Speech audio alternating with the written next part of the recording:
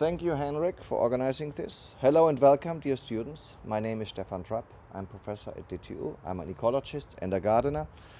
And I have learned about the value of soil and how to make good soils. And I would like to take about soils and land management. And to start with, I would like to say that culture, the word cultura, that comes from agriculture, the way we treat our land. The short presentation is about soil management and soil degradation. I will talk about the origin of soil, the value of soil, and the threats to our soils, like depletion of soil, salinization, pollution, and erosion, and give a short outlook into the future. The origin of our soils. Some 10, 15,000 years ago, Denmark was covered with ice, and when the ice retreated, there was nothing but bare rocks and stones and bad weather. And this bad weather gave weathering, and from the weathering, we got the first fine dust. On these rocks and stones, lichens and algae were growing, and these decayed and gave the first organic matter in which first small, higher plants were living. And as we see on the slide from these first higher plants develop roots and litter and by the help of bacteria and mushrooms the first cover of soil developed. This processed on and we got large forests and within 12,000 years about 10, 15, 20 meter topsoil formed. Well, the story continued, the forests were cut off and agricultural land was there, which is now used to grow our foods and crops. Plants need so little to grow. They need carbon dioxide, they need sunlight, they need water and nutrients. And that's it. The latter two, water and nutrients, they get from soil. If we look at the distribution of cropland on the world, and there's a map now to see, we see that Europe has good cropland. Most of Europe is used for agriculture. We have croplands in the Ukraine, in Russia, in India, in China, also in North and South America, in particular in the East. We have no cropland in the Baltic, uh, Nordic region because it's too cold. We have no cropland in the deserts and we also have little cropland in Africa. About 30% of the Earth's land area is already used for crops, for agriculture. It's 70% pasture and 30% for crops. It's 5 billion hectare. And we have 5% irrigated ecosystems, rice in China, for example, but these produce 40% of the harvests, approximately. Around the world, the best soils are used for crops. And the peak area of land was reached in the 1990s. That means since then we have not got more new soils. There are larger unused fertile areas, mostly in the tropical rainforest zones in South America, Brazil, in Africa, and in Sumatra, Indonesia.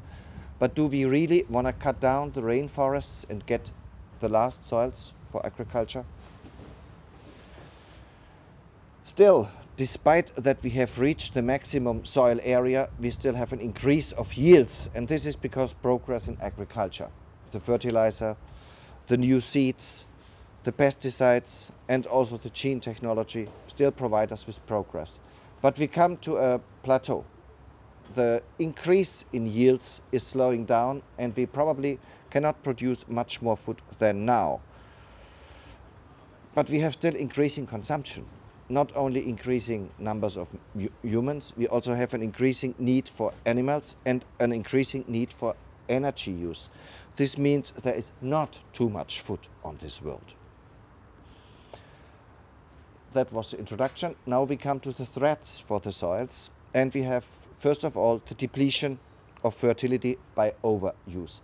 I have a very good slide to see here which shows the value of good soil. It's made in Denmark on Amager and in the front of the picture we see what grows on a stony soil, almost nothing, a few bare weeds, and then is behind a layer of 80 centimeter compost and we get 2 meter high plants. Green jungle. So this shows how important soil organic matter is for the growth of plants. It provides water and nutrients. Soil depletion means that the soil fertility decreases with time. There's more and more nutrients taken from the soil, but also the soil organic matter decreases.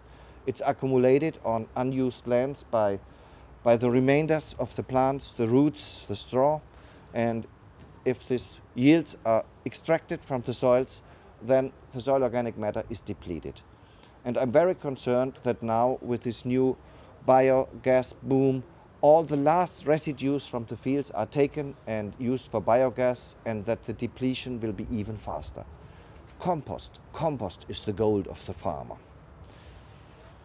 The second big threat is soil erosion. And soil erosion often occurs when the soil is bare. That means when forests were there, they are cut down, or when the land is bare, for example, maize production, then the erosion by wind and water can take away the topsoil, the fertile top, and leaves back stony, bad soils. This is seen all over the Mediterranean area where forests covered the mountains and already in Roman time the forests were cut down and what remains is very bad soil and half desert and shrubs.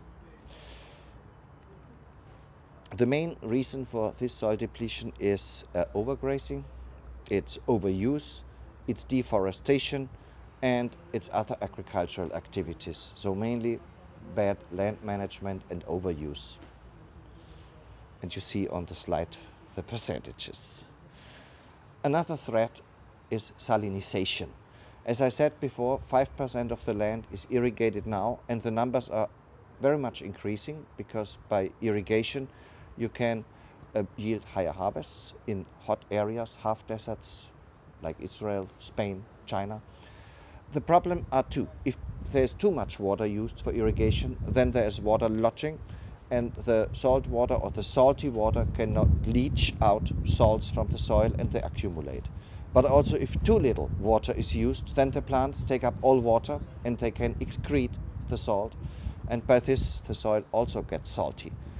And salt is very toxic to our cash crops. So the soils are more or less useless after some time. Um, the slide shows a natural salt island in the Okavango Delta where the plants took up the water, left the salt, and this increases more and more. Fortunately, there's hope. We have identified more than 2,000 plant species which are very resistant to high salt levels, are salt tolerant. These are not cash crops, but they could be an alternative on salty soils. Another threat we face, in particular in urban areas, is soil pollution. And I can tell you that all soils in old cities are polluted. We see a map here of Copenhagen, and most of the inner city is suspect of soil contamination. This is heavy metals, it's arsenic, it's tar, it's oil. But also on agricultural land, we have pollutant problems, for example, from cadmium in phosphate fertilizer, which accumulates over time in the topsoil. Yeah, so this is not so much a problem for the harvest yields, but it means that our harvest product is toxic and cannot be marketed and is worthless. Finally, a threat, soil coverage and compaction. As you see here, we have buildings, we have waves, ways, and of course, where is a, a street, nothing can grow. And even after removal of the street, the good soil doesn't come back. It's, the topsoil is, is taken away, the soil is compacted, and there's no, no more agriculture possible. This is in all urban areas a problem and the cities are growing and very often the cities are in the most fertile areas, in the river deltas, in the river valleys. So what, what is sealed, the land is lost for human nutrition. Good. Finally, an outlook. We see a map of the children per man and woman and most population growth nowadays is in Africa. As we saw before, Africa has very little agricultural land. There's still potential to use, but there's also vivid over, you could say, growth of mankind. So there we will face in future most problems like soil depletion, erosion, land overuse, and urbanization. Thank you very much for your attention and thank Henrik very much for the chance to speak here to you. Bye bye.